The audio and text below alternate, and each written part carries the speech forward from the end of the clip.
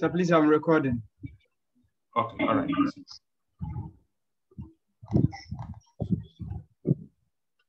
So please mute your microphone, Peter.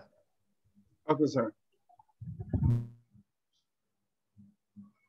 Okay, so we will explain to you what budgeting is and also try to link it with the management cycle. And very soon we'll try and discuss why the activities of management are cyclical in nature. Then we'll discuss the objectives of budgeting.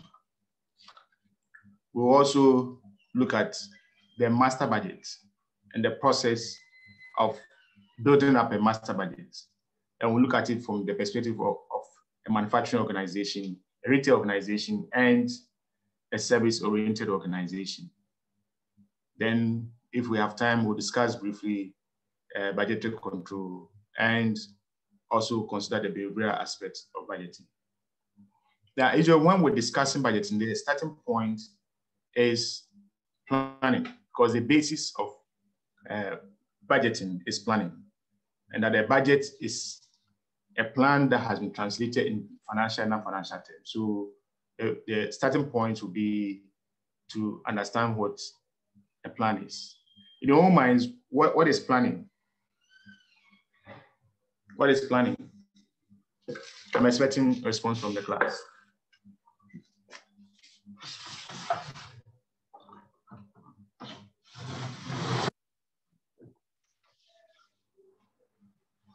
Yes, any, any ideas? What is planning?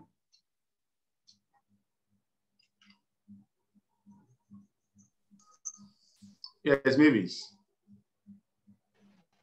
Yes, Prof, good morning. Um, please, uh, planning is making provision for future occurrences. So making provision for future occurrences. So Yes. what, what it's saying is that budget relates to the future. All right, Yes. very good. Yes, Francis.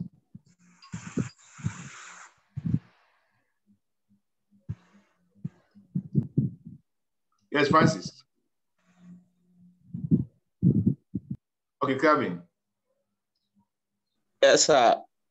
Budget is a financial document used to project future income and expenses. Okay, so it's a financial document used to project Future Income. income, future income and uh, and expenses. Okay, so we're still looking at it that it is relating to the future, except that a budget may not necessarily be financial or wholly financial, and that there could be non-financial aspects too. Yes, Steven. Yeah, sir. Good morning, Prof. Good morning, sir. It is a process. Uh, it is a process of creating a financial plan uh, in order to know the entities' outflows and inflows of cash. Remember, what we are asking you to explain to us is planning, not budgeting. Okay, okay, okay. I was thinking it's budget. Okay, No. okay. Then, as uh, in my view, planning is the process of uh, thinking about the activities required to achieve a desired goal. Okay, so activities to achieve a desired goal. Very good. So you're saying that if you are going to plan, you must have goals. Yes. Okay, great. Any others? Talata.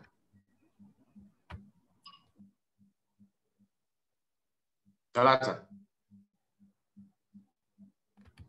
Say, good morning. I just joined.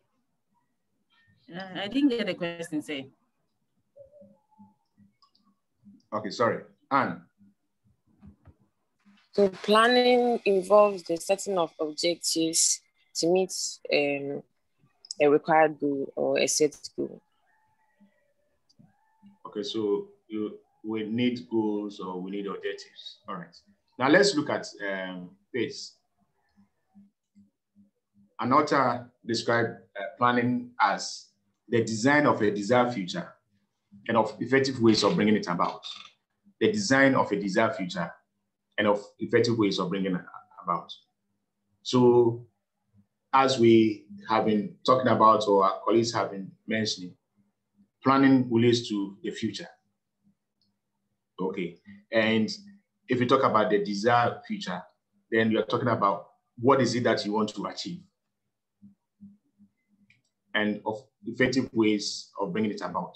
It means that it's a process and it involves um, using resources, using people, or talking about timeliness and stuff like that. Okay. Let's look at another one and see if this will capture what you consider to be uh, planning. And this author says that planning is deciding in advance what to do, how to do it, when to do it, and who should do it. Does this capture your impression of what um, planning is about?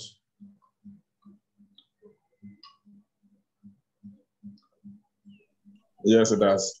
Yeah. So, Yes. two, Yes, it which does. them, which of them will you uh, recommend? The second. From the second one. The second first one. And you prefer the first one, and Benson pre- prefers the second one. I Yes. Prefer the first one. I prefer the, first first one. one. I prefer the second. No, no, you prefer the second one. Yes, yes. I yes, think the first one is in the second one, so I'll choose the second one. Who, who is, who is making a comment? I, I can't see it. Now, when? Hmm. Now, which secondary school did you attend? Holy Child. so you, you prefer the second one? Yes. Yes, please. bro. So I prefer the first one. Charlotte, Say, wh- which secondary school did you attend? um, Tema Methodist. Tema Methodist. Yes. Oh, okay. This class is very contrasting. Okay. So for those of us that went to uh, what they call is it less endowed schools or something? Is that the name they, they, they call it? Mushroom Which one, which one is less endowed? No, those if you went to a, a less endowed school, you know. eh? And if you want went to a grade school, grade A school to you know. Abi, Yes. Yes.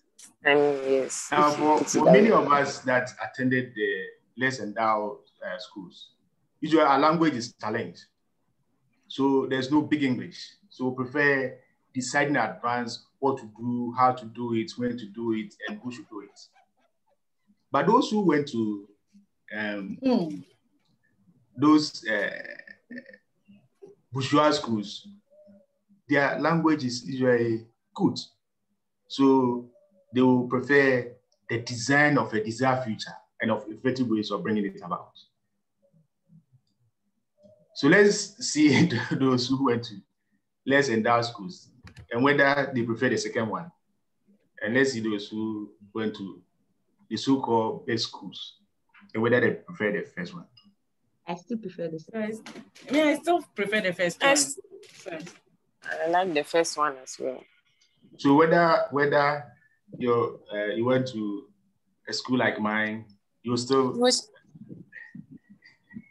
prefer which the is, first one. Yeah, it's okay. I think the second one captures exactly or precisely the first one. Yes. But the, the second one is the language is clear. That's why I prefer. No, no big English. What to do, how to do it, when to do it, and who should do it. Yes, Bismarck. So from the two definitions, I will say they are all the same. Just that Yeah. just the, the language. So Yes, so, so that's what we're talking about. So essentially, they all talking about the same thing, except that the the the, the second one does not use big English. So, so if you went to a secondary school like mine, then that's what you, you prefer. Yes, Michael. Um, okay, so thank you. Um, I was thinking the second one is more is is better because uh, the first one speaks of you trying to design a desired future and effective ways of bringing about it. But sometimes planning is not all about designing, uh, you know, uh, pre pre, um, you know, designing ahead of Yes. time. But then it's also means putting plans in place to prevent a particular thing that will happen in the future from happening. So it's it's not cutting double ways. That is why I was going for the second one. So what do you understand by effective ways? Effective ways. Thank you, sir. That's what I wanted to say. Effective ways of bringing it about. Effective means doing everything possible to bring Frank, to bring Frank, what secondary school everything- did you attend? I think his issue is with the um d- design Frank. of a desired future. Frank, which secondary school did you attend? West Africa Um, St. John's School, say. West Africa. Yeah, West Africa. It's not anybody secondary school. Come again. St. John. Please come again. Ah, say, please, um, with the issue of the planning, okay. Yeah. Um, I wanted to also say that planning is basically about projecting into the future and making provision for it, okay, in order to achieve a coherent strategy. Mm. That's basically how I understand it. Okay, so you are talking about projecting to the future. Is it is it different from the design of a desired future? Um, say they are the same though, but um, from my understanding, Sir, please, it's English. oh. Desired future and effective ways. It's English. That's why I say. And so that's that's why I'm saying that there is, is if, if if if you went to That's why there are secondary like mine, then your language will be challenged.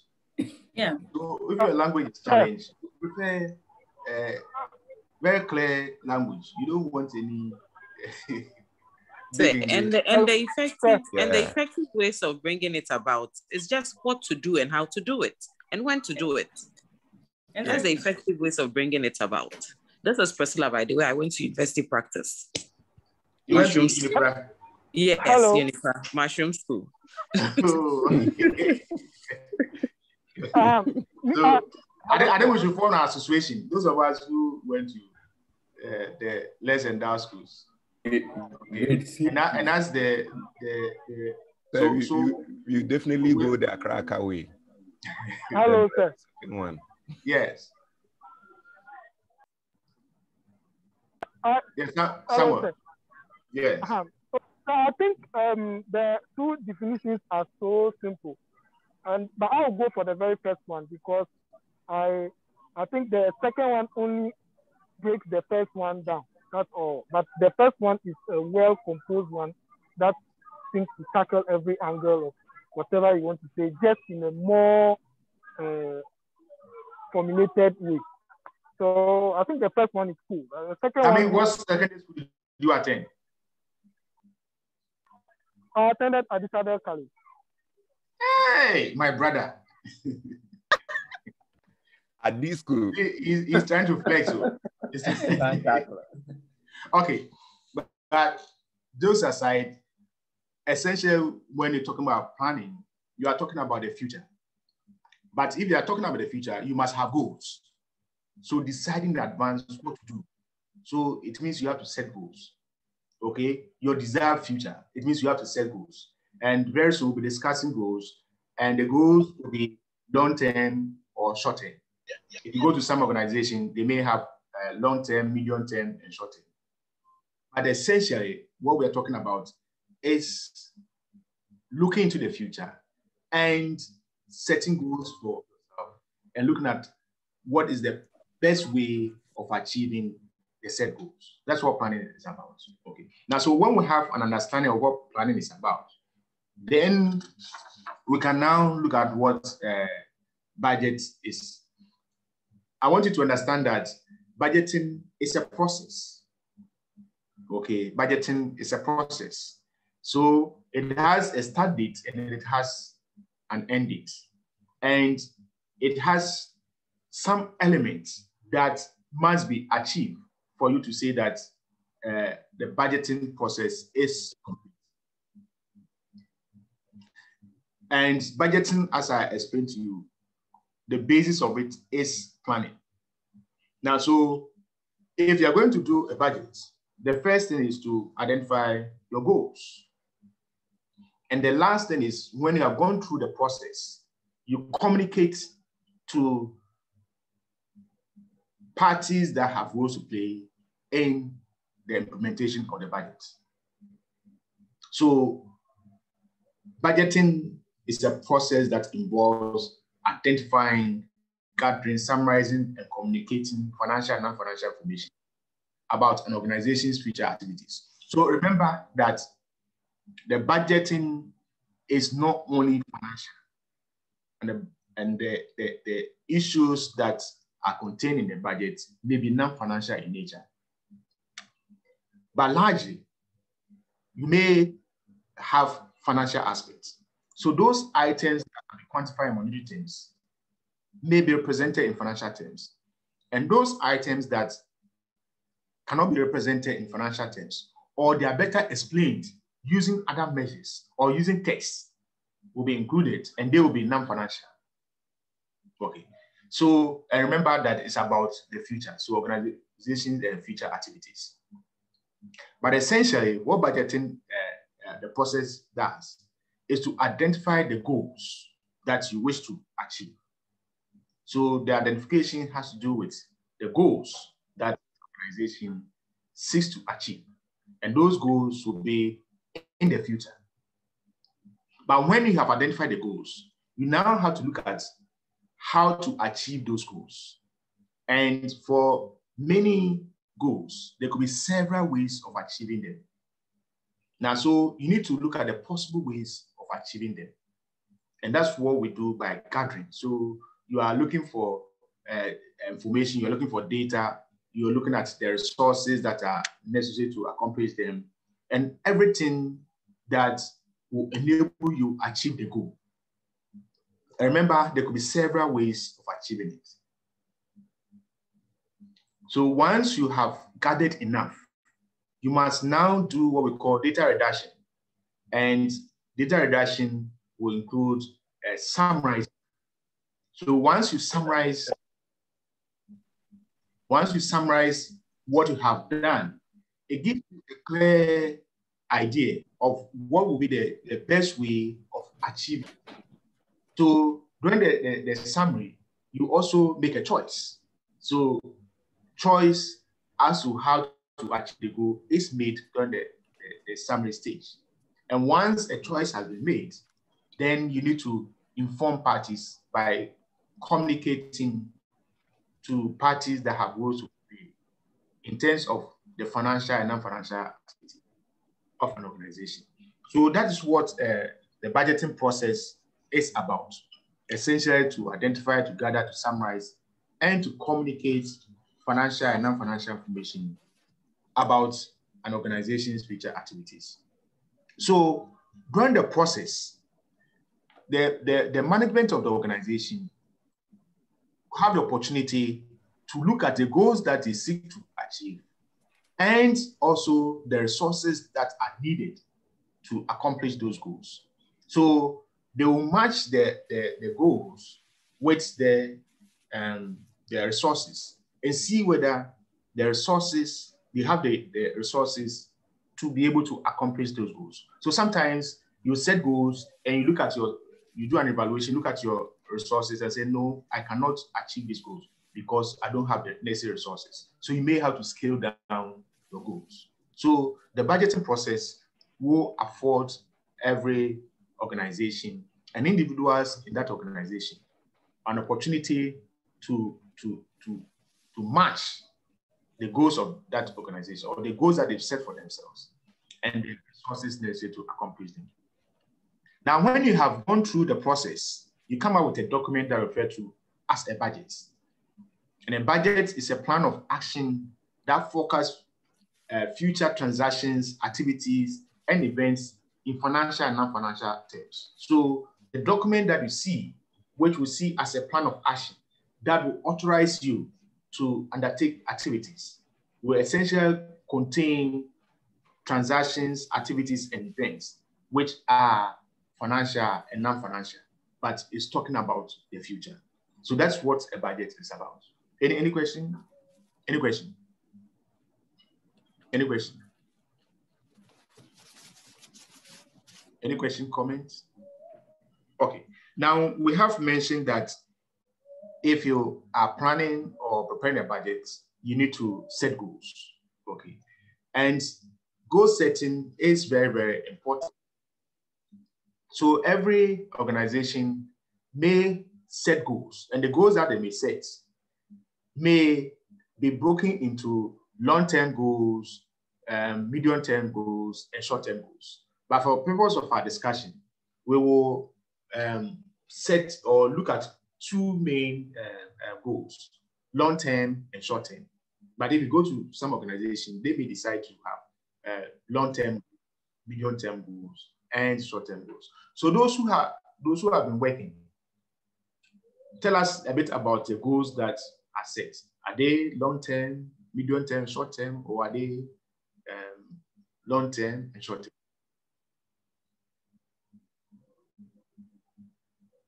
Or you don't know the, the, the goals of your organization? One year.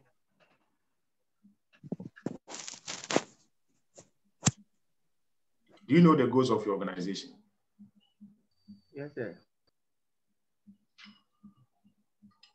Let's hear, let's hear you.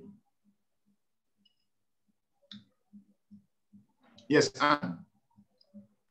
So, um, for example, a school, a, a school institution. So the goal will be, um, if, um, sorry, how do I? So the final year, so like um, JHST, if they are sitting exams or something, so the long term, before the exam, so the long term goal, that's five to um, Okay, so preparing your um, your students for exams. So the long term goal will be to to achieve good grades or good scores when children sit exams in the coming years. That's the long term goal of a school. If I if I'm understanding what the slide is saying correctly. And then the short term goal will be um, the intermediate exam that is taken before the the main exams, the main WAEC exams is taken. I don't know if that makes sense. Uh, yeah. Okay. Any others? Any others? Okay, so if you have looked at the past questions, we have been asking questions on these. That we can imagine a company and set, say, three goals, long-term goals. So you're not familiar with them, especially because you have not worked or uh, level that you have operated, you don't come into. But if you're working in an organization, you should know the goals of that organization. Exactly. Okay, um, sir, please, I did my service with um, an insurance company, and their long-term goal was to be a household name um, in the coming five to 10 years. Everybody in Ghana should um, know about them so that they can come to them for insurance. But if you are setting goals, the goals must be smart. How will you measure a household name, every Ghanaian? How will you measure that? Um, say, for example, um, let's say a product like Omo. Sometimes um, you go to the shop and when you want to buy any detergent, just say you want to buy Omo. So if they have Omo, they are going to give you that before you can say that no, it's not Omo I want. I want a different brand. So it becomes a household name. When you talk about insurance, that's the first name you are going to um, talk about. So they are going to get more clients for the company. And you'll be able to measure that uh, this is the brand. Mm, I hear you. Any others?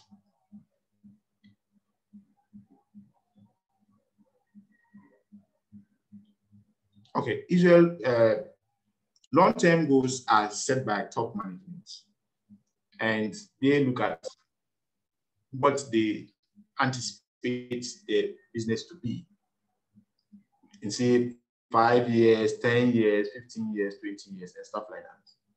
So it looks at distance into the future. And they may include quality projections. So for instance, if it's manufacturing, they'll be looking at that return should be 0.001%. That's the quality that they want to see in their, their, their, their products. Okay. They want to look at the growth rates. Okay. They want to look at the desired market share. Tablet, tablet, tablet. Don't can you sir? No. How can I keep John? Let's go. Oh, I can't do it.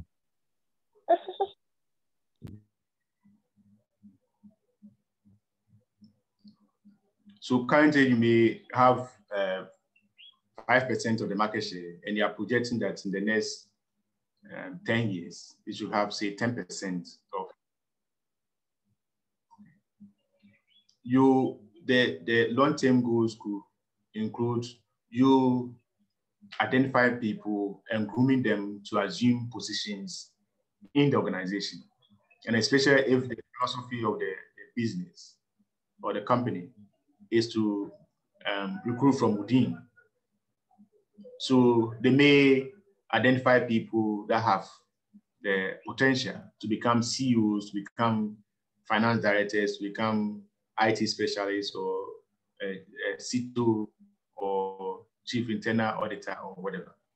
Now, so when they identify people, they groom them, they give them a lot of opportunities to grow. And over time, maybe 10 years from now, they may assume positions as either finance director or the CEO and stuff like that. Has anybody in the class been identified and being groomed to assume some position in the organization?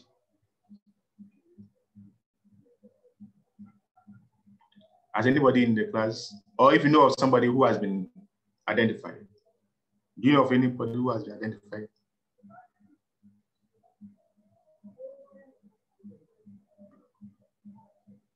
Are you there? The class? Yes, Uncle. please, we are here. Yes, sir, we are Yes, here. We're here. Do none of you or people they know have the potential for them to Please, I oh, missed it. To be potential to do what? to assume leadership position in the organization? All right. You know someone. I know someone. Okay, tell us about the person. Oh, I think um, in terms of leadership, she's somebody who is assertive, um, quite goal oriented.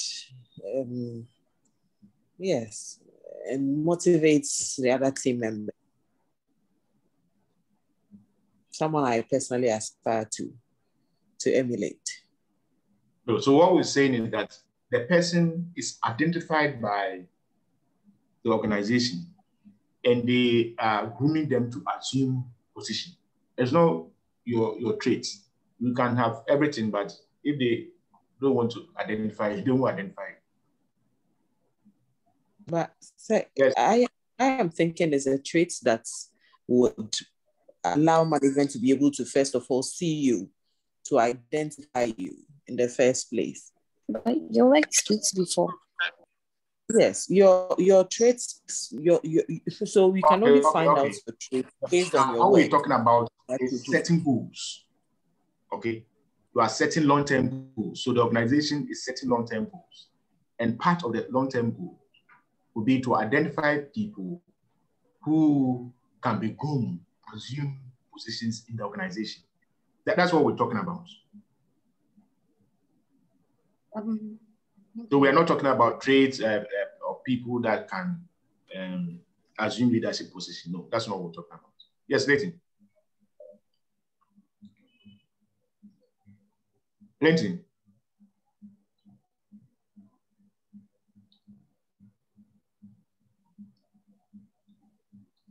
Yoni.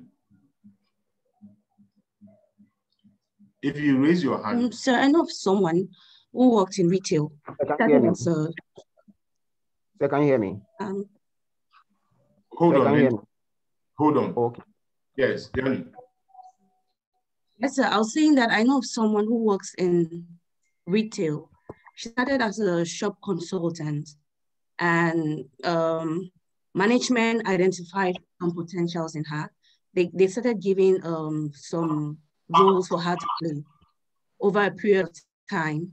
And over after a year, she was promoted or promoted to the role of supervisor, not based on her qualification, on the work she she did when she was there, when she joined them.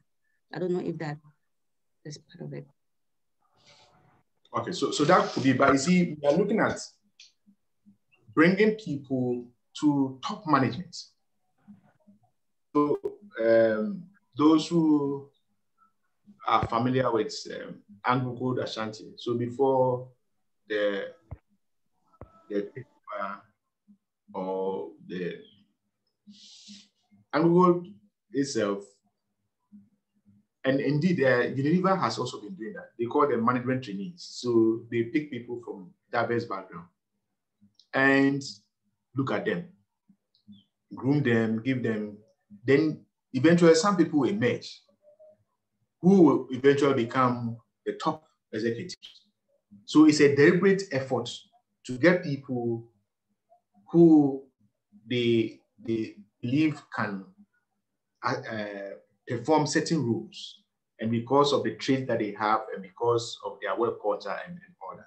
that. That's what we're talking about. Yes, uh, Emmanuel. Hello, sir.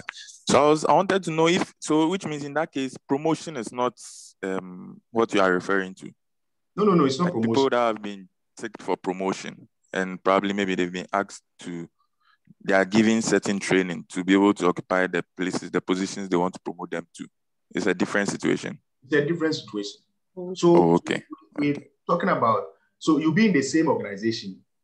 They will sponsor somebody to go and do a program outside. Okay. Maybe Okay. MBA or whatever. And you'll be struggling to get a loan to do that. Okay. Such people in the organization, they may do certain things and they'll get away with it. But if you do it, they'll sack you because you have not been identified. So those people become special. And sometimes they will, they will have mentors in the organization that are looking at them. So you could see that you have joined an organization, you have worked for say 20 years. Somebody comes and after five years, your junior, the person is made the CEO or the finance director because they identify them and groom them to assume those positions. That- That's, that's what we're talking about. So that will be part of your long-term. So the long-term goals could also include your profit projections and new product development and services that you wish to, to, to, to add to what you're already doing. Yes, learning. So please, what's the difference between promotion and and identifying them? I don't get the difference.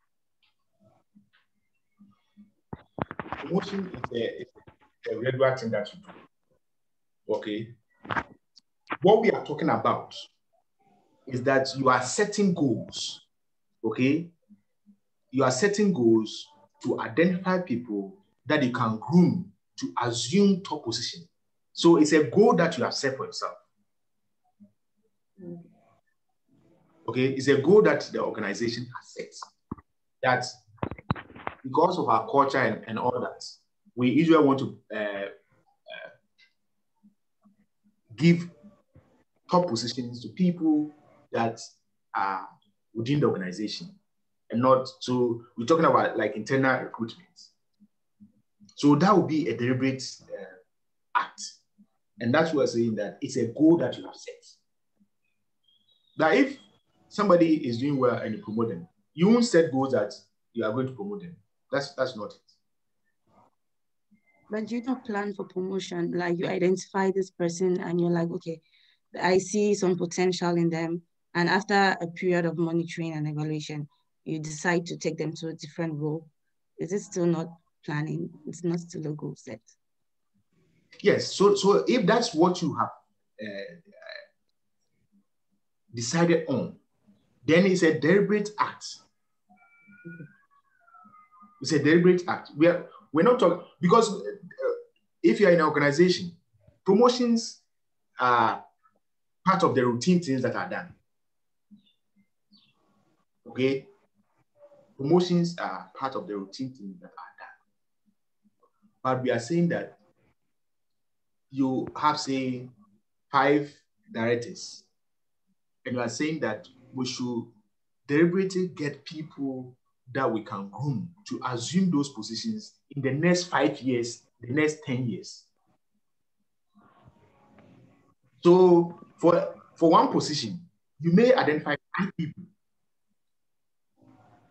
and you are, you are giving them opportunities and over time, one of them will be emerge and that person assume that position.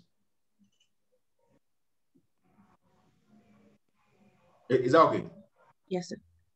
Yeah, hello, sir. Yes. Yeah, sir. So I wanted to know uh, from my organization, I mean, um, what they normally do is like they will give uh, some number of people to go abroad to study for about five years or three years. But that one is not necessarily on position. Like there is a special area, maybe like engineering aspect. You take two people to go and study in abroad. So can you classify that one too as part of it? Because it's not about a leadership position, but it's just a training that the organization need, and they will send Yes. them. Is it, is it training or because you anticipate that you are going to have need for such uh, expertise? So let's get Mostly- and train them. Mostly to- what I do, Yes, getting go ahead. yeah, mostly what, what, what I know is normally the people will be working in the organization. Mm-hmm. And when that period comes, they will just select them. But I don't know what I may be is eh, for leadership position. That one I have not made much inquiries about that. But they will select a group of people and they let them go and study in abroad. That's Atomic Energy Commission. So later on, they'll come back and impact the organization. It's about five years program. Yes. So so it's it's, a, it's something that is intentional. Okay. Okay. If you go to some of the well um, structured organization, they may even ask you to go and do some internship in another organization. So, for instance, you you're being um, trained or groomed to become the finance director, and you're working with say Nestle. They can have a program with say uh, PwC that you should go and work with PwC for a year. Okay. okay? And all they are trying to do is to sharpen you so that you can take up the position. That's that's what we're talking about. Okay. Thank you, sir. Yes, George. Doc, please, uh, is a promotion that I wanted to also uh, submit my view on it. Uh, that uh, you explained that uh, it's something which has to be to be routine within the organization, and that one to sometimes to it is attached to your condition of service, where probably after serving a particular number of years, you are promoted to your next uh, grade based on your performance at uh, at an interview. Then I have to have an example. There was one person uh, who was sponsored to pursue a specialist program in health outside the country. Now, uh, with the intention that when he comes, uh, he will take over a top management position within the organization. So lo and behold, when the person came, the facility had already been built and he was uh, appointed as the, the medical director. So in this case, does it fit into our discussion in terms of the long-term goal? Okay. And if you if you know of especially entrepreneurs, when they want uh, entrepreneurs that have their uh, business well structured and they want their children to take over, their children, most of the time, will not start working in that organization. They will send them somewhere, maybe uh, somewhere to just have other experiences.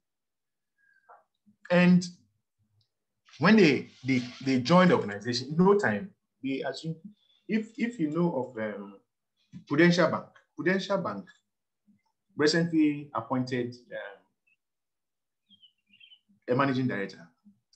That managing director is the son of one of the promoters of the bank. Okay, GSR. So this individual came, and in the scheme of things, he was not part of top management.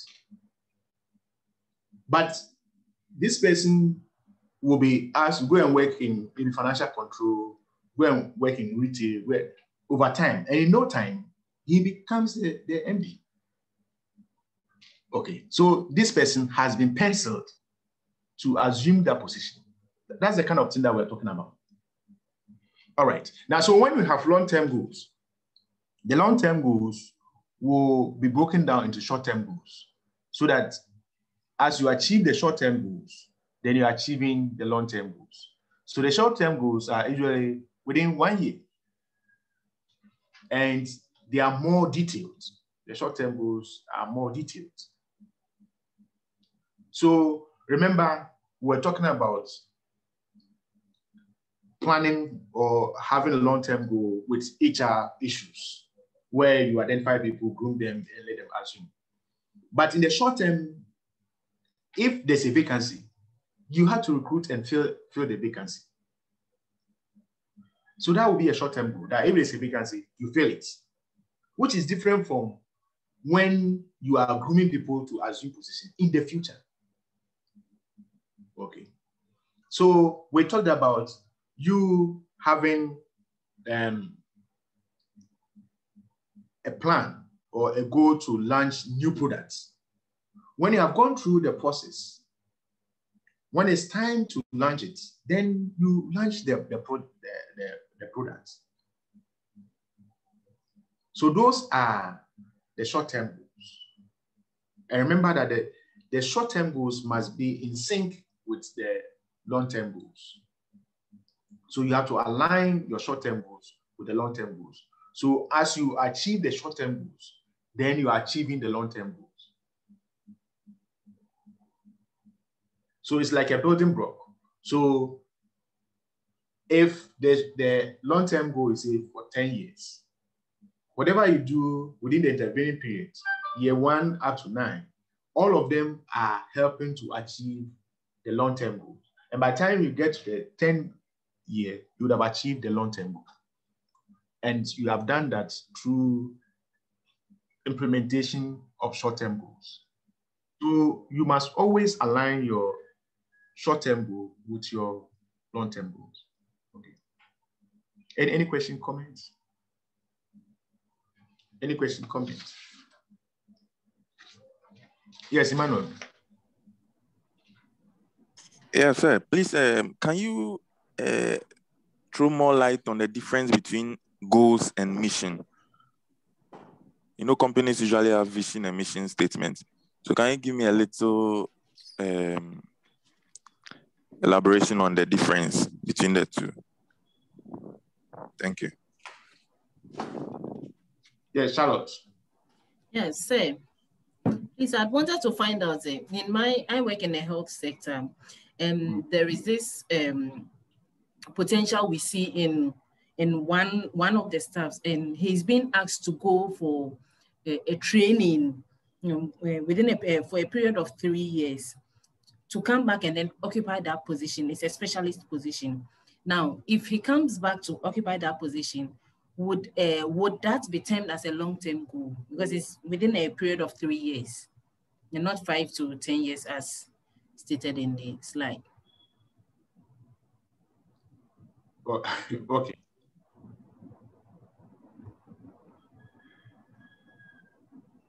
I mentioned to you that the for many organizations, you can have long-term goals, medium-term goals, and short-term goals. Okay. Now, so depending on the type of organization, they may have short-term goals, medium-term goals, and long-term goals. But if we talk of the long-term goals, we are talking about anything that is more than one. So if it is not, if the organization doesn't have long-term goals and um, medium-term goals and short-term goals, anything that is not short-term will become long-term. And we have been okay. specific that um, when you mention short-term goals, you are actually looking at a year or something that is immediate.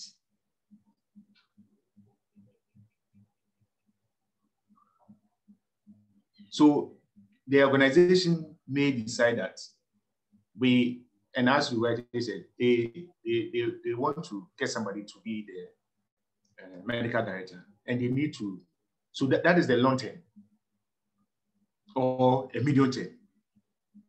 But it cannot be, if, if you, if you decide that we need a medical director, there's a vacancy for medical director, so you fill that vacancy, then that's a short-term goal. But if you actually make a goal to get somebody by preparing them so that they will be ready to assume the position, then that's a long term goal. Okay, sir. Yes, Adam. Okay, good morning, sir, and class. Okay, so I just have an example to cite in order to, to buttress the point you made earlier. So I guess we all know Kasapreko Company Limited. Um, the man who started the company, J, he focused uh, mainly on producing hard liquor. Um, but his son, who is Richard, was sent abroad to study in uh, business schools and work in some companies. And he was brought back to diversify the products that a company produces. So Richard mm-hmm. isn't concerned about the alcoholic aspect. He is the brain behind the Awake Mineral Water, the Puma drinks, the Storm Energy drinks, and all the soft drinks that Kasapreko is now producing. So I think that would be a perfect example of the long-term plan of maybe diversifying from a company that does alcoholic beverages solely to one that produces beverages or all sort of drinks. So now they brought back Richard, and he's now running things at the company. And now Kasapreko is really producing even a lot more soft drinks than the hard liquor we know them for. Thank you. Okay. So there are two.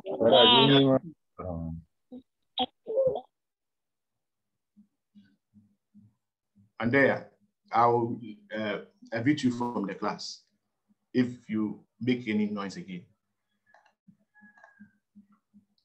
So there are two issues that I see there. You see, one, the individual was identified and groomed to assume the position. The individual comes and say, okay, these are the product lines, but there must be a shift in the product lines. So it will not be overnight. The individual may say, let's give ourselves say, five years or 10 years. And that's by five years' time or 10 years' time, our product range will be more non-alcoholic than alcoholic. So that becomes a goal.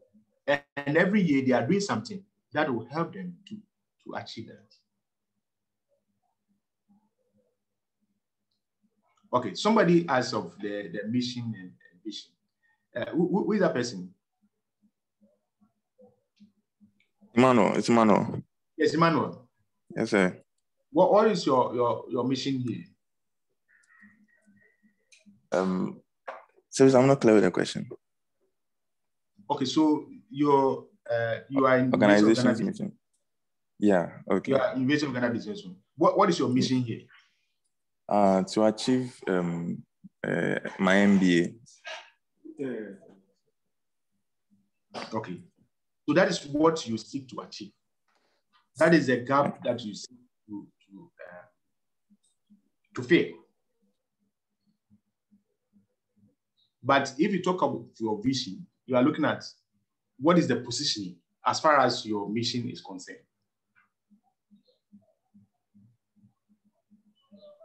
Okay.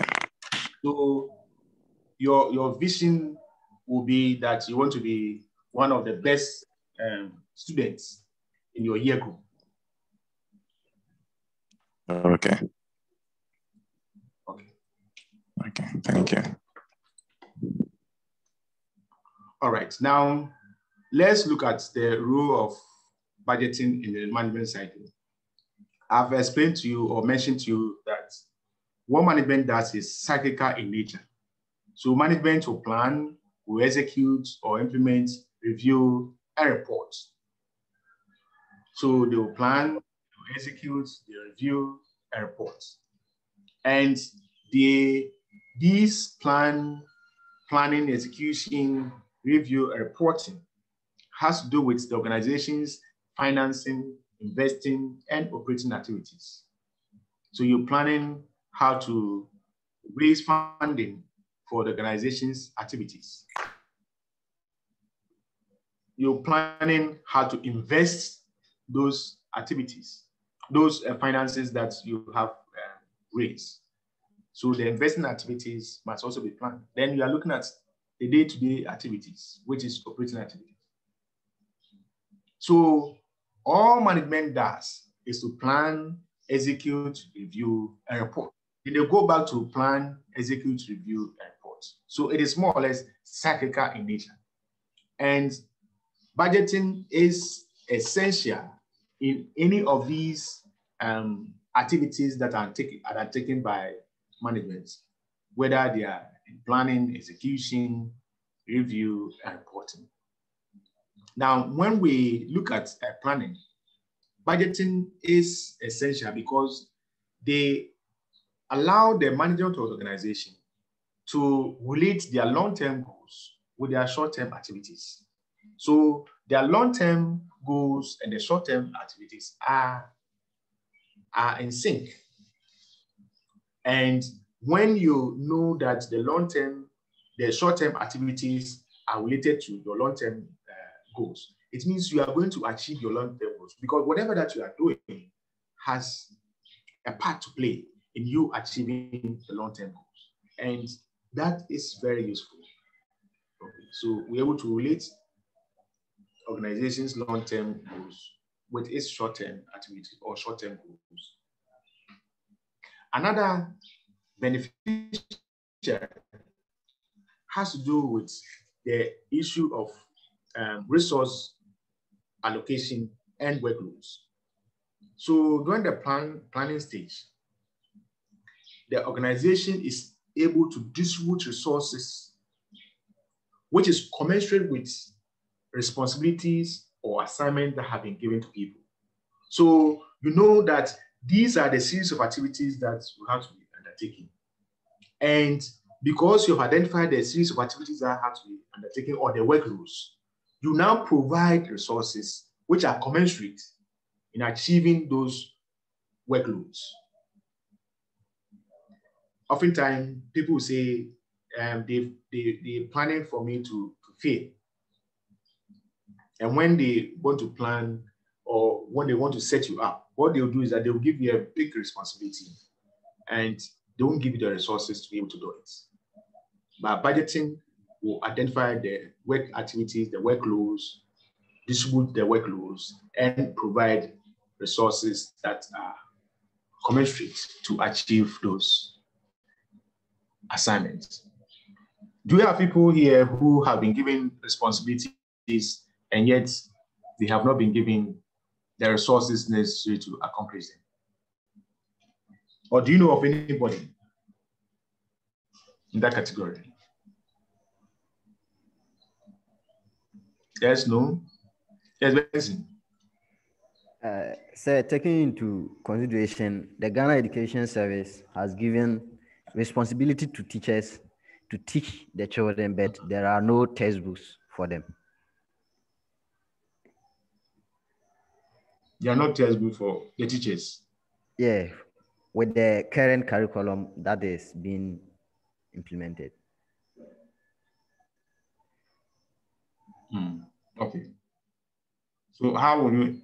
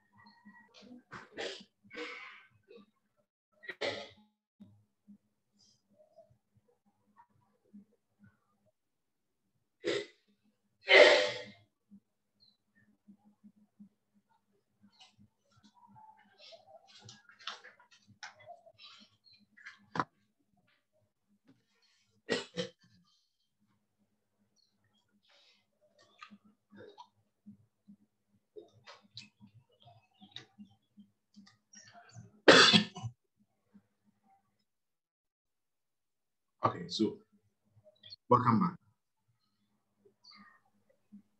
Now, during the planning stage, we're also able to communicate responsibilities to individuals. So people become aware what is required of them.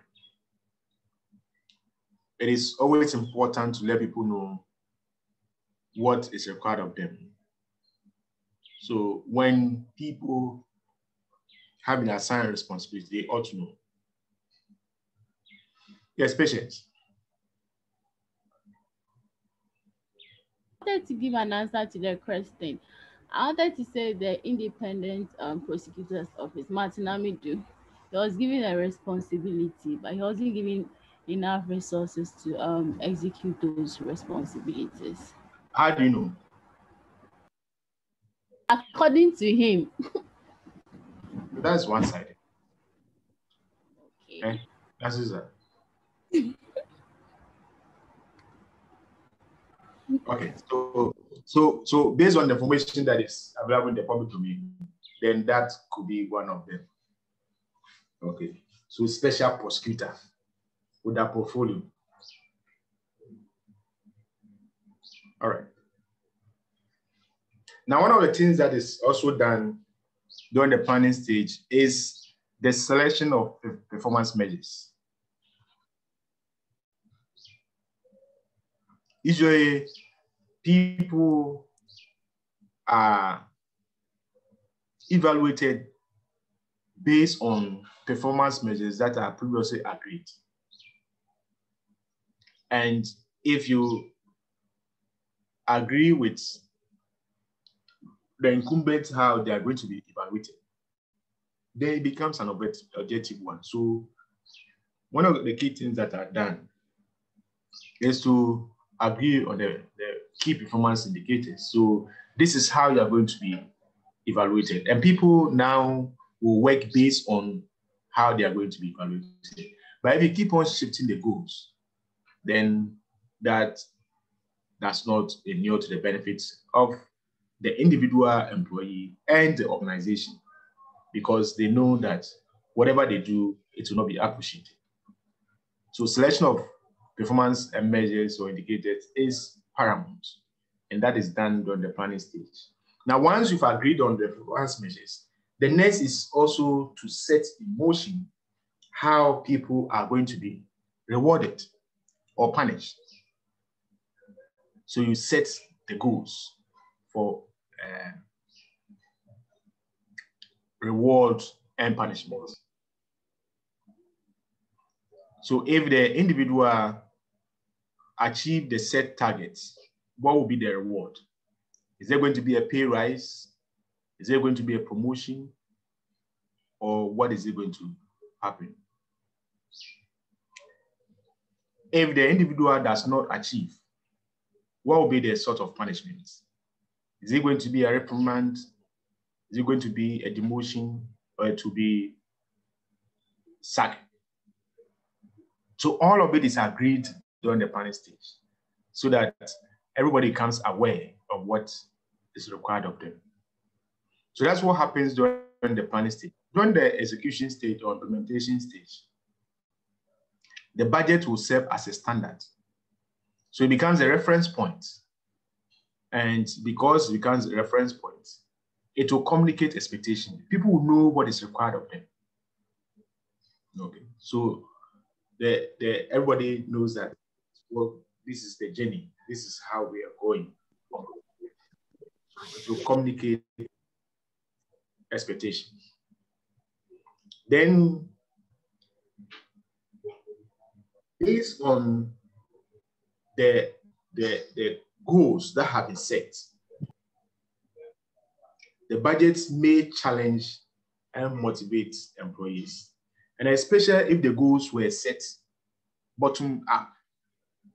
So when it comes to goal setting, it could be a combination of either top down or bottom down or whatever the organization want to do.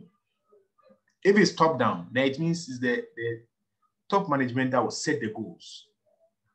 But if it's bottom up, guidelines are given to individuals or departments or and they will set the goals. Now, so based on the behavioral aspect of budgeting, goals that are set bottom up usually will motivate employees to achieve because employees will know that they set them up and they will have every motivation to achieve it. But if it is set uh, top down, then employees will usually have the refrain. They say we should do it. They say we should do it. And they, you require some external motivators to motivate them to achieve them. So when budgets are prepared and during the execution stage, and the goals are uh, set bottom, usually bottom up, employees get motivated and they will achieve what is contained in there. Another advantage has to do with coordination of activities.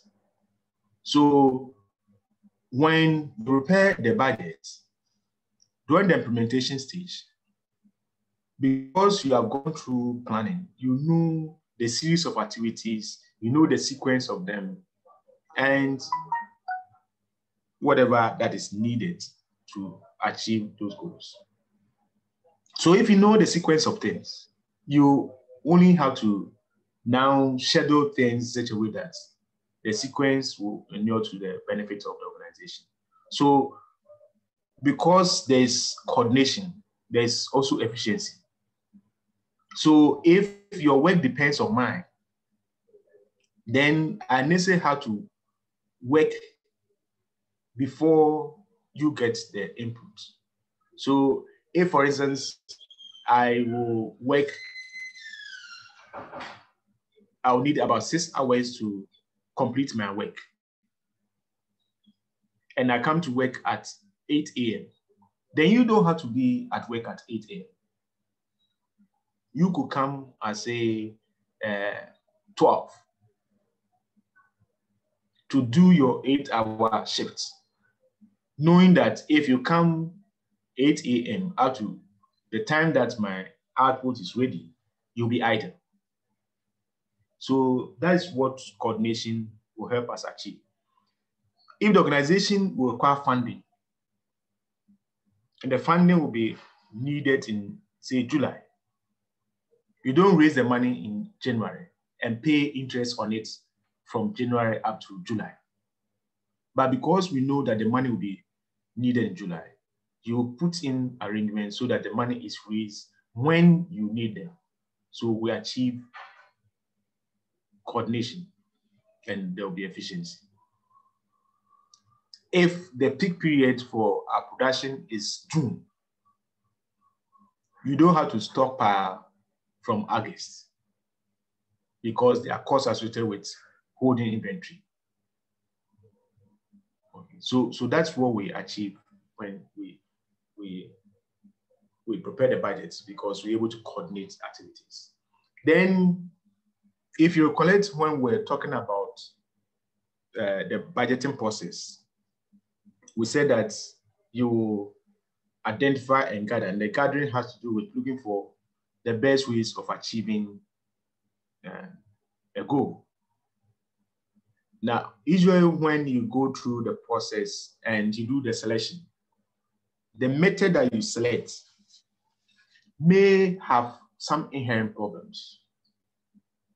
But because you've gone through the process and you know the inherent uh, problems, as you implement them and they start manifesting, you're able to recognize them. And because you already anticipated those problems, would have formulated a solution. And so you recognize problems and solve them during the implementation stage because you have gone through the process. now, once we've done the implementation, we call that as the actuals. So the budget will be the standard. Then what you have done will be the actual. Now, during the review stage, what compare the budget with the actual and determine whether there are deviations. So the deviations in accounting, we call that as variance. So if you have departed from what you originally uh, set out to do, that will be a deviation and that will be a variance. And the variance can be positive or negative. So based on the actual performance and the budget, which is the standard, you can now calculate the variance. Now, once you're able to calculate the variance, the next is to even remember that you've agreed on the performance measures during the planning stage. So you are using the performance measures that were previously agreed to now evaluate performance. But you need to evaluate them in the context of the time because time is an essential aspect of implementing a budget. So you need to now determine whether you need to now determine whether you have achieved what you did within the time frame. So timeliness, know the deviations. Then you can now uh, look for ways of improving on the performance. So you create solution for continuous improvement. So it is not just determining that there have been deviations, but you're looking at how do we correct said deviation?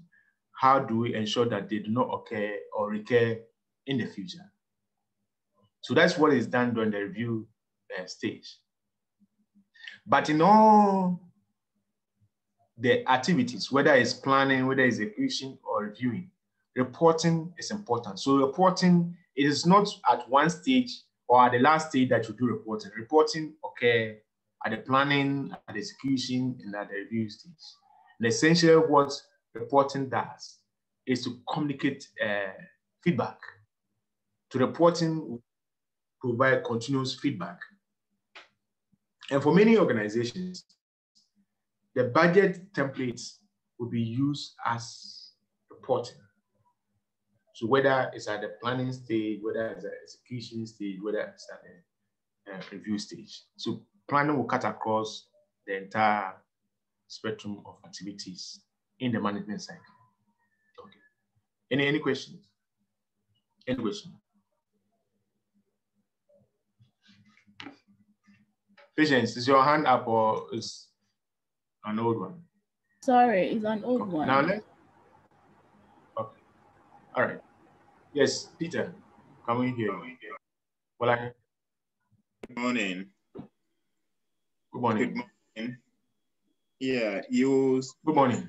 about uh, the bottom up aspect of uh, the formation of goals that will motivate uh, the workers or the employees. Uh, I was also thinking that maybe if there should be a way of meeting the employees also halfway, management meeting them halfway, and then uh, uh, streamlining the goal. I believe the two parties will be committed to the goal and then uh, be motivated to achieve it. That is what I also think. If there's anything about Okay, that. so you are right. So if we if we say that the goals are set bottom up, yes, you see, the impression is the impression that is created that is the um the, the the staff or the employees or the units that have set the goals. Okay, because usually there will be guidelines, and when the guidelines are sent to the employee or the department or the units, telling them where the organization wants to get to. And they ask you to formulate the, the, plan, the goals.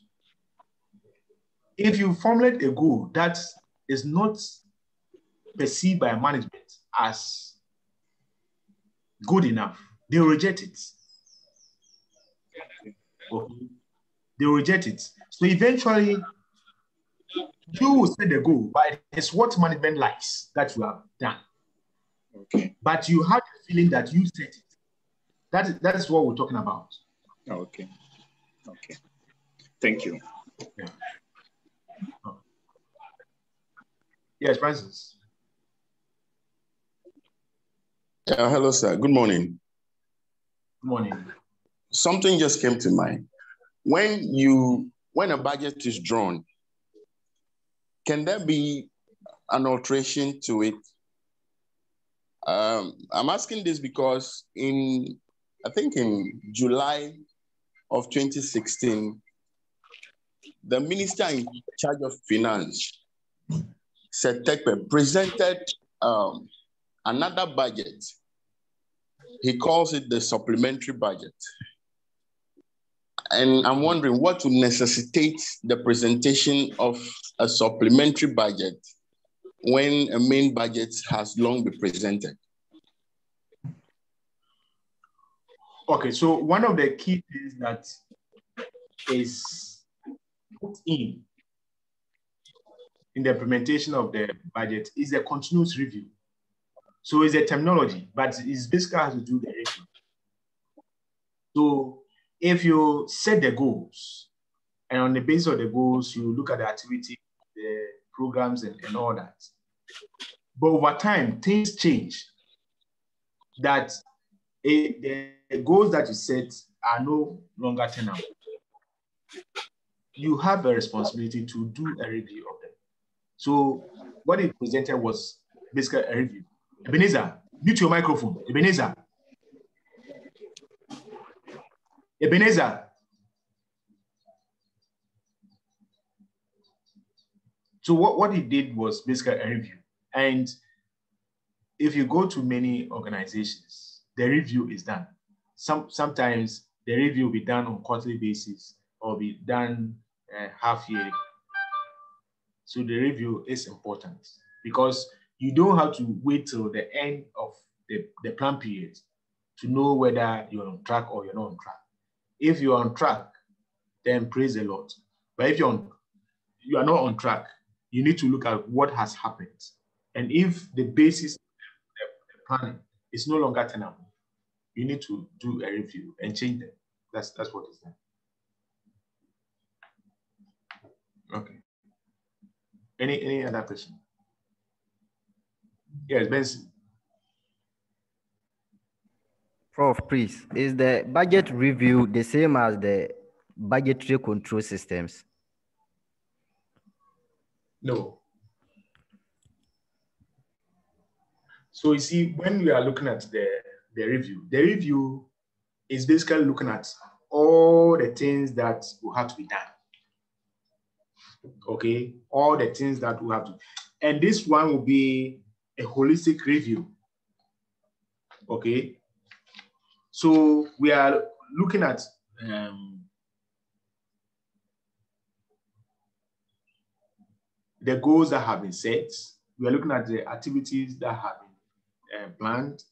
And based on that, you now look at whether the goals that we set are treacherous or they are not. Okay. But when you are talking about budgetary control, so they, they are more or less safeguards. okay, they are safeguards and they will occur on a regular basis. So on a regular basis, you are looking at whether there are deviations. And you may be looking at them based on item by item. But when you are looking at a review, it's a complete uh, look at the, the, the budget, but not for just one item because it's deviating. No, that's that's not what. what so there is some difference between uh, a regular review or a schedule review. So some people um, may say that for this budget, we should be looking at it, say on a semi-annual basis. And that's what we, we, we do. Okay.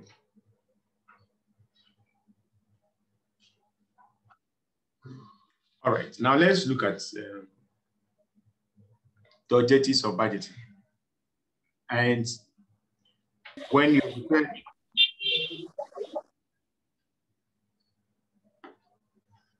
Ebenezer, I will remove you from my class. Okay, now these are some of the objectives of budgeting. Number one, we say that um, when the basis of budgeting is planning. So budgeting will compare planning and planning has been found to be one of the key um, tools that will help an organization to achieve this. So budgets will compare planning because if you have a, a budget and there's no plan, then it means that you have more or less um,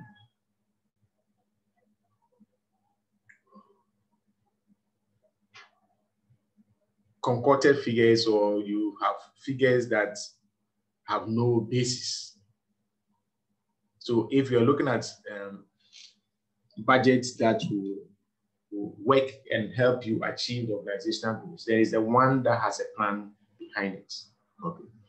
We have also mentioned that um, when we plan and we prepare the budget as we implement, we're able to coordinate organizational activities. We just discussed that. Can somebody explain to us what's that?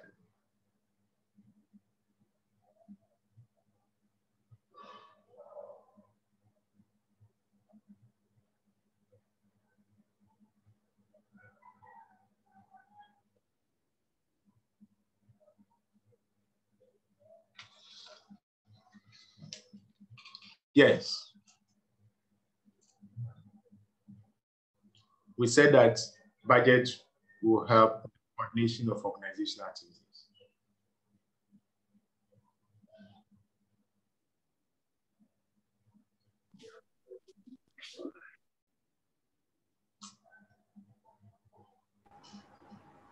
Yes, patience. Yeah, um, from what I understand, we um, coordinating organizational activities with budgeting, um, we are able to know where resources are going and who carries out what activity and what should be done at a particular time and period. Okay. Yes, Anne. I was about to say exactly what she said. Okay, yes, Frank. Sir, please, basically, it helps in the smooth allocation of the company's resources at their disposal. Okay, great. Patience, is your hand still up or is the old one? The old one, sorry. Okay. Now, another objective of budget is we're able to communicate organizational objectives and policies. Usually, when people are employed, they may tell them or orient them as far as the organizational objectives and policies are concerned. But if you're working in an organization, your knowledge and use of the policies and also helping to achieve the organizational objectives is paramount. So if the, the organization can have an opportunity of reinforcing what they stand for policies, it becomes necessary. So one of the objectives of budgeting is that during the, the planning stage or the preparation of the, the, the budgets, the guidelines that are sent will include organizational objectives and policies. So people are or employees are constantly reminded of what the organization uh, stands for and what they seek to achieve. So people knowing the organizational uh, uh, objectives and the policies would work towards achieving the organizational uh, objectives and also work within uh, uh, the policies that has been set. So if you know that the, your organization does not permit the use of child labor, during the, the, the planning stage or the, the guidelines, they will reinforce that we do not, we avoid using uh, child labor. Otherwise, you get an organi- uh, a manager who, because they want to increase profits, may will employ child, uh, children or use child labor and therefore save a lot of costs and make more profits. But they will not have achieved organizational objectives within the policy framework. So it is important to know the organizational objectives and policies. And this is communicated to employees during the guidelines or when guidelines are being set. So that's another objective of budget. We can also talk about budget controlling behavior and activities. So um, when people know their responsibilities and what is required of them, the budgets may be used to control their behavior and activities.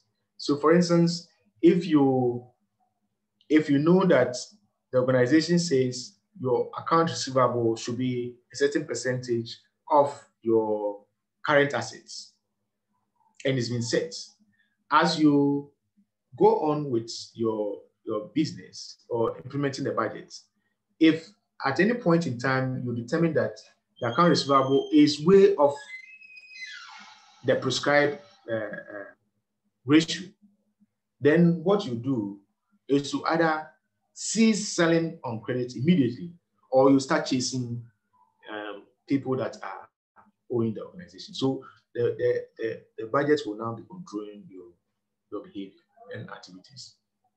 We also have talked about performance evaluation, and we said that during the planning stage, you set the performance measures, and during the review stage, you now evaluate the performance, and that because the performance measures are um, previously agreed, then they become uh, very objective.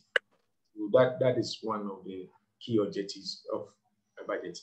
We can also talk about uh, motivating employees, and we spoke about when it comes to goal setting, and especially if it is uh, a bottom-up approach, it can motivate employees. And here we are looking at where the motivation is self. So we're talking about self-motivation instead of getting people to or getting using some other measures to motivate you. This will be set. This will be self-motivation because you are involved in the, the goal setting. Finally, we can also say that the budget authorizes action. So once you've gone through the process, the approval process, and finally the budget has been approved, then it forms the basis of activities that are undertaken within the organization. So typically, if you go to many organizations and you want to undertake an activity, they will ask you, is it in the budget? It means if it's in the budget, you can go ahead and do it. But if it is not in the budget, then you need to go through the approval process to, to, get seek approval before you can implement it. So we say that the budget authorizes action.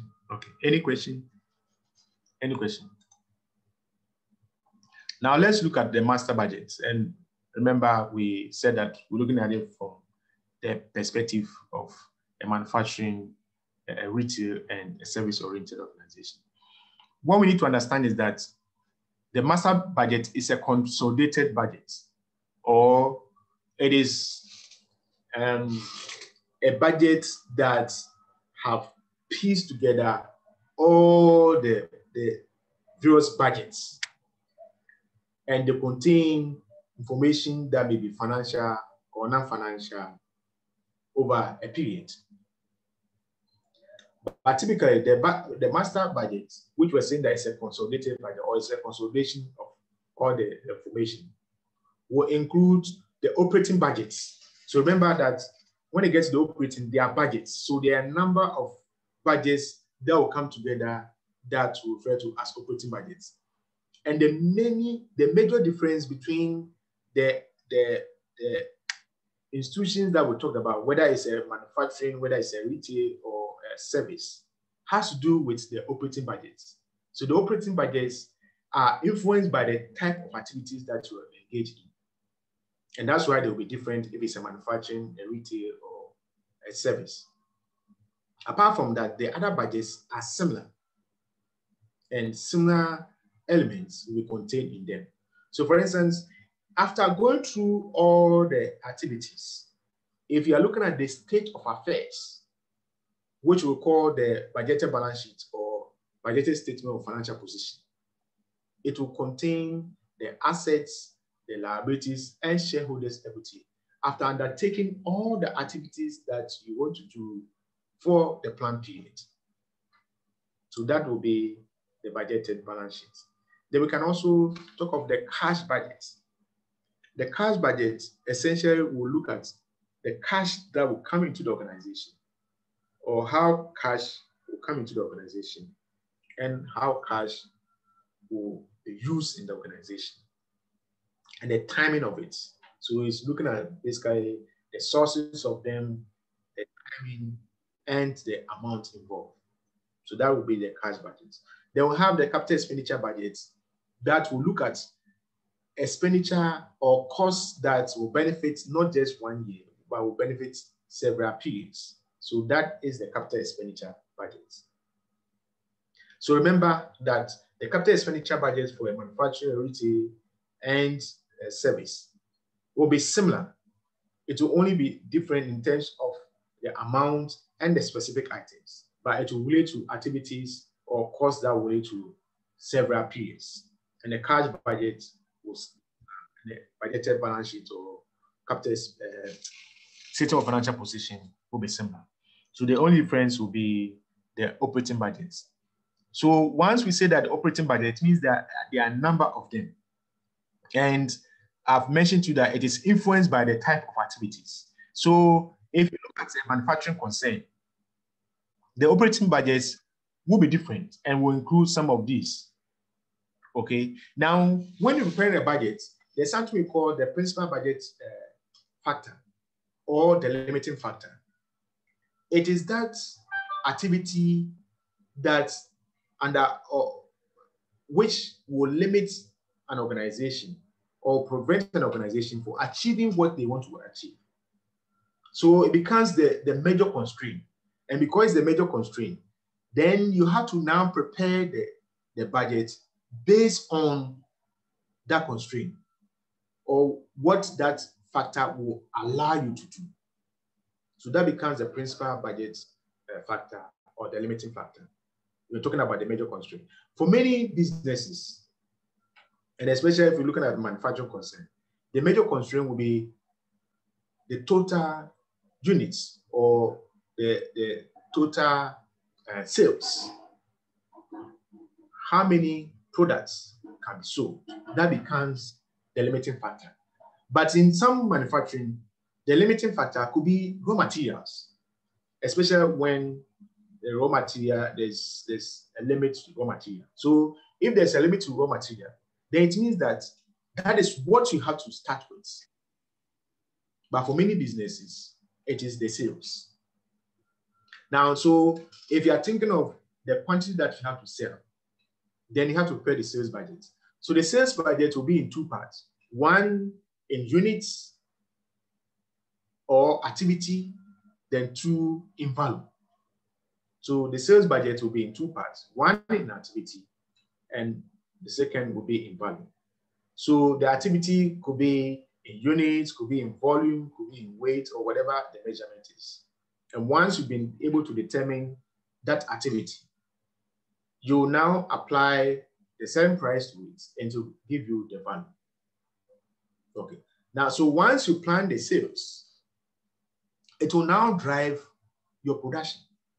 And your production budget must also be in two parts one in activity, then two in value.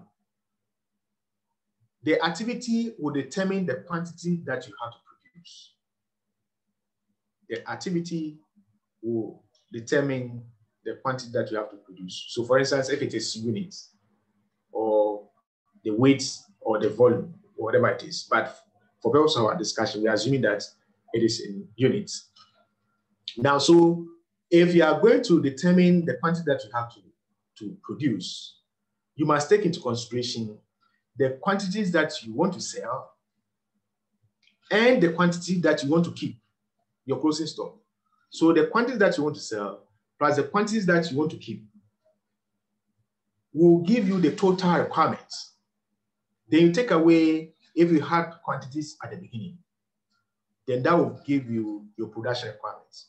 So once you know your production requirements, you know that this is the quantity that I have to produce. Then you know that to produce one, what are the factors of production that you have to combine?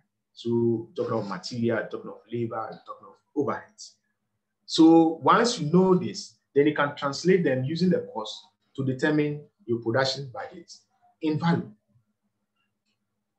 Now remember, once you are looking at your, your production and determining the quantity that you have to produce, it will also determine the materials purchase.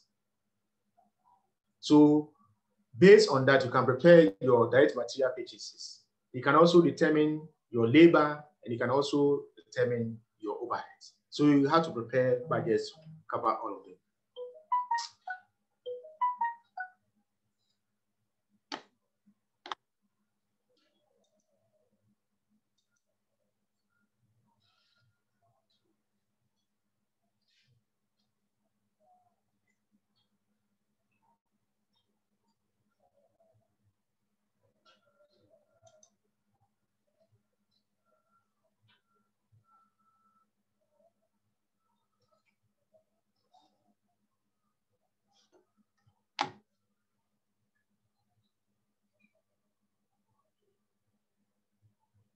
If you want to annotate, you need permission. You can't do this stupid thing.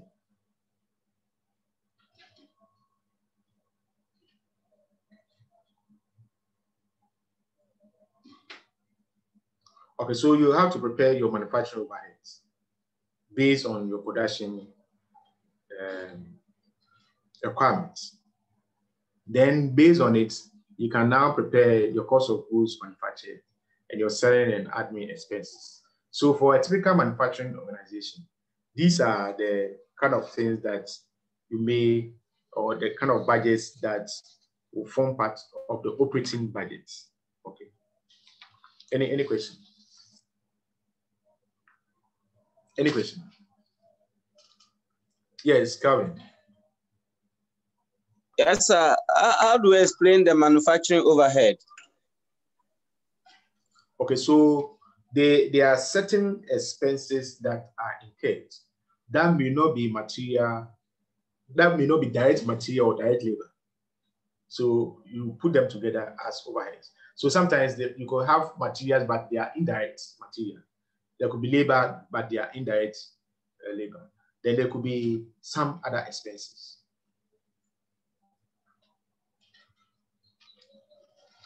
Okay. So now, once you have um,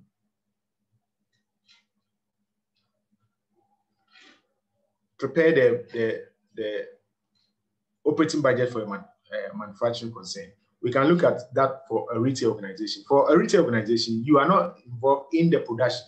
So all you're doing is you're looking at what are the products that you want to sell, what will be the estimated quantity, and what will be the selling price for each of them. Once you're able to um, answer these questions, then you can go ahead to prepare the operating budgets for retail. And for operating budgets, especially if the the, the sales is a limiting factor. You're going to prepare the, the sales budget first. Then the sales budget will now drive your purchases. Remember that you are not going to do production, so you are going to um, buy finished goods. So, and the quantities that you're going to buy will depend on the quantities that you can sell, the quantity that you want to keep, and the quantity that you had at the beginning.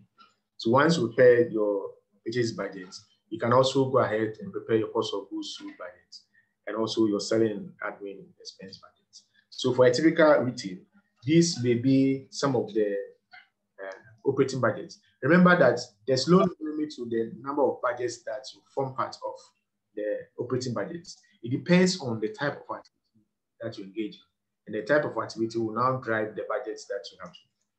For uh, a service-oriented organization, what you do is that you, you providing services and you're depending on the expertise of your employees.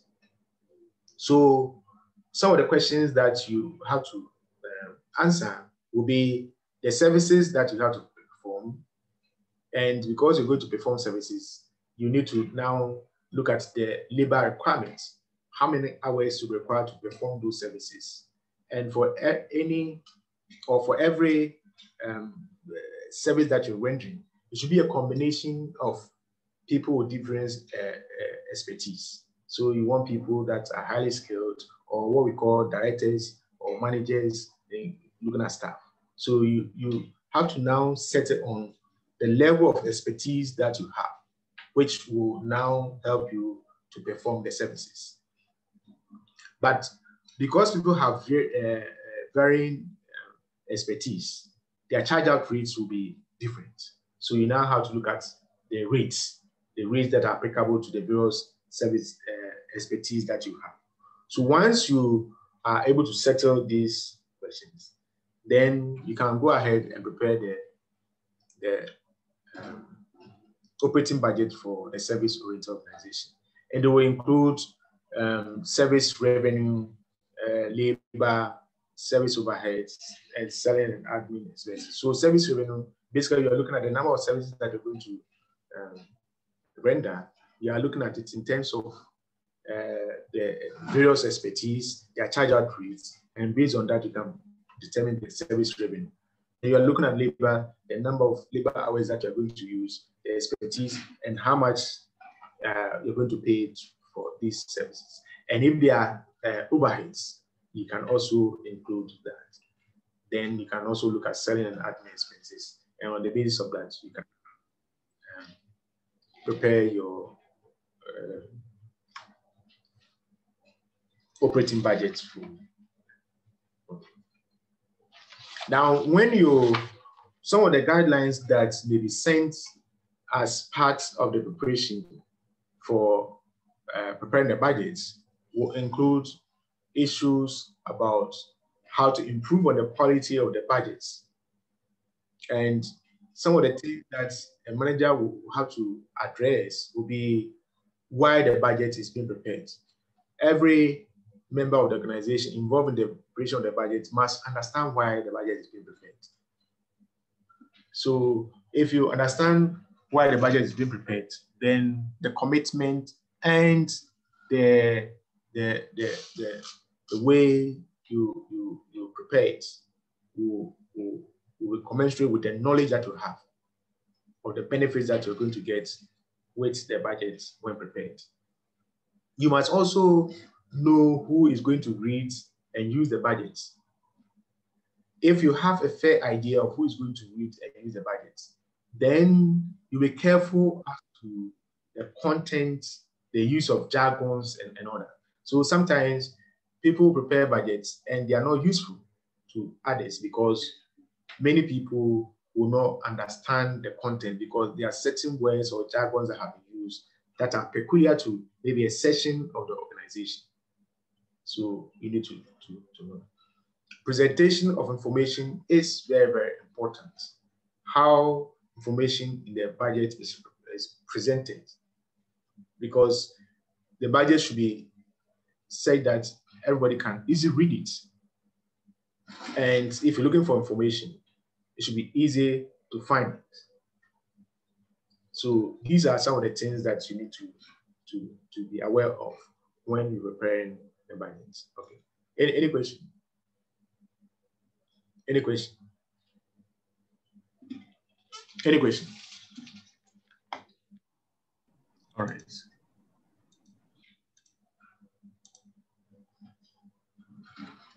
Yes, Matilda. Good morning, sir. Uh, please, I would like to find out when it comes to uh, communication of the budget in an organizational setting. Um, should it be known only to the management, like top management, or all the staff in the organization are supposed to know the budget? Thank you. Okay, it's everybody that have, has a role to play must know. Okay, everybody that has a role to play. So sometimes, depending on your role, you may not have access to the entire budget. You may be given the portion that relates to you. Okay. But for many uh, businesses, because they want to, they want employees to know what the contribution of their work to the entire work, they may want to give it out to everybody. But for many uh, businesses, they will just look at what role you have to play and give you the portion that relates to you. All right. Thank you, sir. Okay. Any other question, comment? Yes, George. Uh, look, uh, sometimes uh, when it comes to budget preparation, uh, in some organization, the interest of uh, key managers is very low, and even some departmental heads. And the reason they give is that uh, normally this is something we've been doing over almost every year, and at the end of it all, the, we don't implement the activities in the, the budget. So in this case, as a manager, how do you bring on board this, or how do you uh, uh, promote uh, interest of uh, uh, people who matter in the budget so that they'll be committed? Because I have experience and uh, something that I wanted to bring it out to see if there could be a way, because we prepare the budget every year, but at the end of it all, they will tell you there are no funds or resources to implement the activities in the budget. So in this case, what do you do, please? Well, usually um, some organizations prepare budgets only to fulfill the requirements that they have a budget, but they have no interest of achieving or implementing the budgets. If that's the case, then it's a waste of everybody's time. Okay, so if you prepare the budget, then you are ready to implement it. So that's what I was saying. Thank you, though. All right. Have a good day. Bye bye. So we will discuss the the continual assessment part. I have a meeting, so I cannot uh, discuss with you now. Bye bye. Okay, thank you.